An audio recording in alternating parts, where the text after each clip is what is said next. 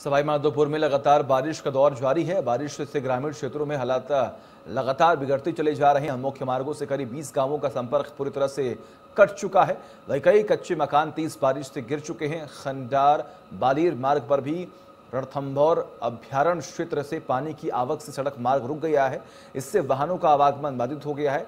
लगातार हो रही बारिश अब लोगों के लिए आफत बनती जा रही है।